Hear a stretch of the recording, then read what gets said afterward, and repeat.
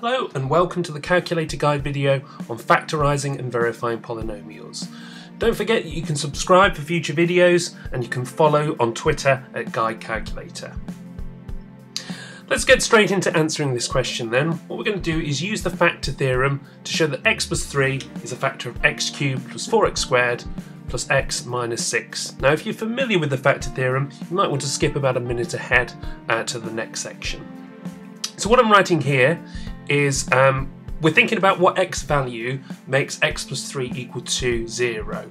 So we want an x value of x equals minus 3. And the factor theorem will state that if we put minus 3 in to our function as our x value, we should get a result of 0. So what I'm doing here is just replacing any x's with minus 3's. I'm actually doing this non-calculator, uh, which is a little bit different for me um, but we will be using the calculator later on um, to verify some of our answers. So once we've sorted this one out, um, if we add all these together, we should get the result of 0. So we know that x plus 3 is a factor. So the next bit of the question here, part B, is we need to factorise x cubed plus 4x squared plus uh, x minus 6 completely. And this is the main bit that I really wanted to show you on this video, is how to do this without doing the long division method that a lot of textbooks will show you. So what I'm going to do is I'm going to really exploit um, the fact that there's a relationship between multiplication and division. And I'm going to just draw a grid in here uh, to help me out with this. Now I've got two rows in this grid to represent the two terms in the factor. We've got an x and a plus 3 and I'm going to introduce columns into the table. I'm going to do as many columns as the highest degree of x that I've got in my polynomial. So that's x cubed. So I want three columns uh, for this. Now the quotient, or what the result that I get when I divide, is going to appear on the top here. Very similar to the top of the divisor or the bush shelter type shape on long division. Now, um, I'm going to put in here the first term. So the first term in the top left-hand um, space there, the first term of my polynomial is x cubed. And what I'm thinking about uh, here is what do I need to multiply x by uh, in order to get x cubed? Well, it's x squared, yeah? So these two should multiply together to give my term here. And then in the bottom here, what I'm going to do is to multiply the x squared that I've written on the top by the 3.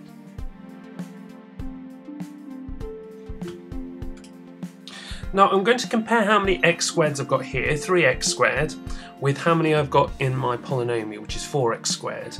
I need another x squared to make that true, so I'm going to write that here in the next uh, row on the top. And then what I'm doing is I'm thinking about what I need to multiply x by to give me x squared. Well, that's x. Positive x, I'm going to put plus x here on the top.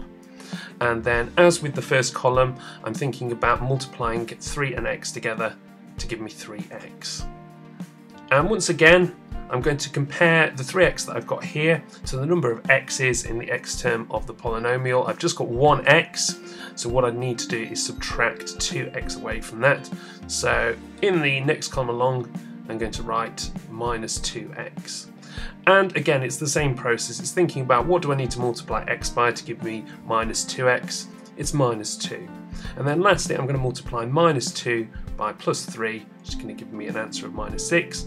I'm just comparing that now to the last term in my polynomial, which is minus 6, uh, and so therefore I've got no remainder, which is what I was expecting. I already knew x plus 3 was a factor, and therefore I wouldn't get a remainder.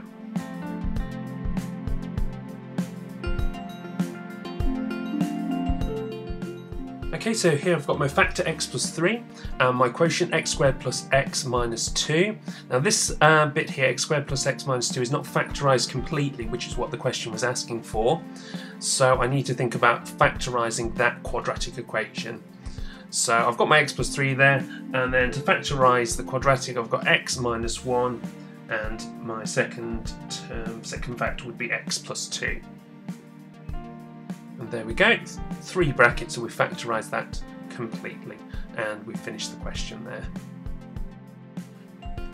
Okay, we're moving on to question 2 now. Given that x minus 4 is a factor of 2x cubed minus 3x squared minus 23x plus 12, we have to factorise that polynomial completely. So here's my grid again. and I've got three columns to represent that my highest power of x is x cubed and two rows. I've got two terms in the factor. Uh, I've got x and minus 4 okay so my first term which is 2x cubed remember that wants to go in the top left hand uh, rectangle here the top left hand cell of uh, the grid. So 2x cubed and I'm thinking about what I need to multiply x by to give me 2x cubed. I'm going to write that up here. That's 2x squared and then I'm multiplying uh, minus 4 by 2x squared to give me my value here, which is going to be minus 8x squared. Then I'm making a comparison between minus 8x squared that I've got here and minus 3x squared, which is what I've got in my polynomial. So I'd need to add 5 more x squared to get that correct. So I'm going to add that now to the second column. And what would I need to multiply x by to give me 5x squared? Well, it's plus 5x. And then thinking about the bottom cell there, we've got minus 20x, minus 4 times 5x.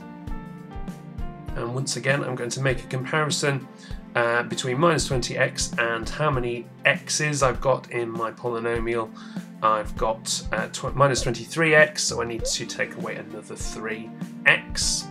And I need to multiply x by minus 3 to give me that. And then lastly, I've got minus 3 times minus 4, which gives me plus 12. And I compare that to the last term that I've got, which is also plus 12, which means we've got no remainder, which is what we would expect if we've got uh, x minus 4 as a factor. Okay, so here we've got the factor of x minus 4 and the quotient of 2x squared plus 5x minus 3. And again, we need to factorise the quadratic quotient part again in order to factorise it completely. Um, so I'm going to just rewrite this with three brackets. And here we have x minus 4, uh, 2x minus 1 and x plus 3 as our complete factorisation. Now what we can do, or the main purpose of this video, is to be able to verify uh, this relationship on the calculator. That the polynomial that we have is identically equal to the factorised version uh, that we've just found out. Um, what I'm going to use is I'm going to uh, enter the verify mode on the calculator here, where my result is going to be either true or false. And I'm going to start off by inputting the polynomial as it was presented to me in the question. So 2x cubed minus 3x squared minus 23x plus 12. Now I want to access the verify menu, so I need to press shift and 2 and I'm going to use the equal sign here. There isn't an identically equal uh, sign, but we can use that as appropriate. And now I'm going to write in my factorized version. So x minus 4, 2x minus 1, and then x plus 3 as it appears on the page here.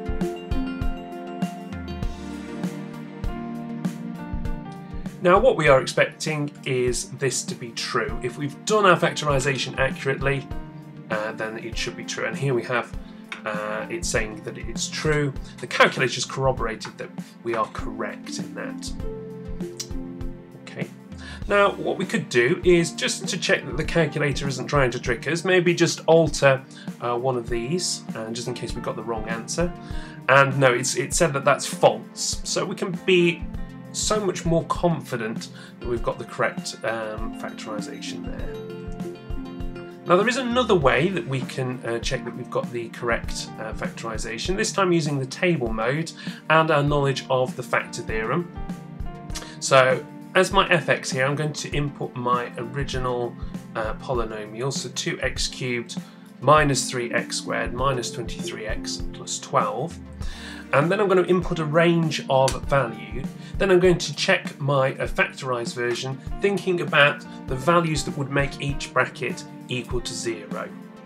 Okay, now I need to think about my range a little bit. Um, the calculator only has memory to uh, trial so many uh, values. Now, looking at my uh, factors, um, if I pick a range from, say, minus 5 to 5 and make the step a half, I should uh, be able to test all values going up in halves from minus 5 to 5. That's about 20 values altogether, which is, a, is pretty much the calculator's capacity. The reason why I wanted a step of a half is looking at the bracket 2x minus 1, I know that it's going to be a half uh, that makes that bracket equal to 0.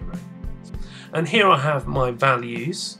Um, so if I just scroll down, uh, here we've got minus 3 giving us a value of 0. Well that corresponds with the bracket x plus 3. If x was minus 3 that bracket would equal 0. Okay, and here we have another one, which is as expected, 0.5 or a half would make uh, the bracket 2x minus 1 equal 0. And here we finally have the value of 4, which make the bracket x minus 4 equal to 0. And so therefore we've got an extra check there that our factorisation is correct. Considering both methods, I would say the verify mode is more user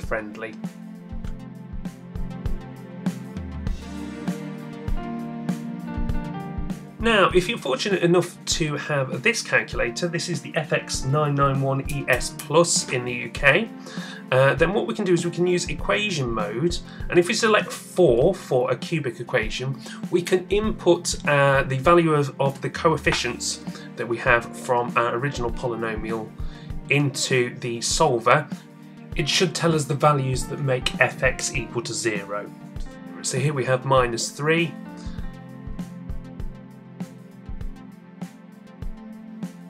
here we have 4 and here we have a half. So essentially the roots or the crossing points of the x-axis of that function. Okay, let's have a go at our last question here. Find the quotient and the remainder when 3x cubed plus 13x squared minus 11x plus 5 is divided by x plus 5. So this time we're expecting a remainder. Now we've still got three columns because we have uh, 3x cubed, x cubed being our highest power of x and uh, we're going to be divided by x plus 5, so two rows. Let's put our first term in here, 3x cubed. What do I need to multiply x by to give me 3x cubed? Well, it's 3x squared. So the first part of the quotient is going to be 3x squared. Multiply this by 5, I'm going to have 15x squared. Now if I compare that to what I have in my polynomial, I've got 13x squared, so I need to take two of those x squareds away. What do I need to multiply x by to give me minus 2x squared? Well, it's minus 2x. Minus 2x times by 5 is going to give me minus 10x.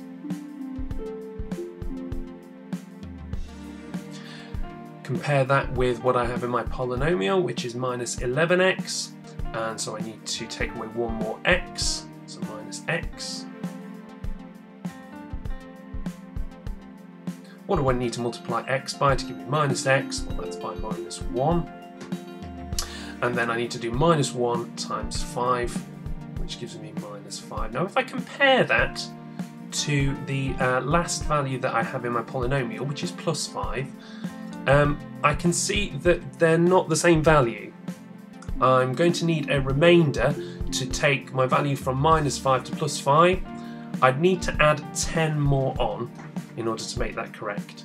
So this here is my remainder. My remainder is plus 10 or 10.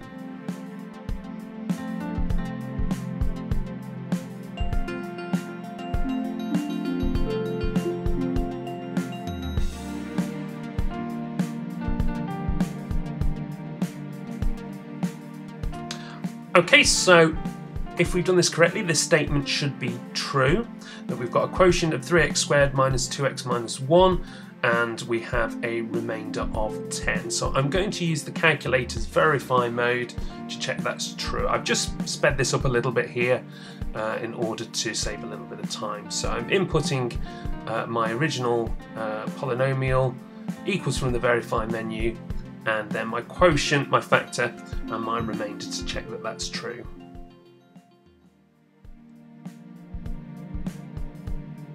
Here we go, and the calculator says true there.